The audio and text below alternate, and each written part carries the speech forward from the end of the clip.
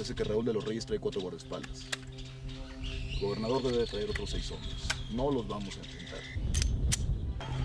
Tiene que ser un solo disparo. Un solo muerto. Si se pierde la oportunidad, nos retiramos. ¿De acuerdo?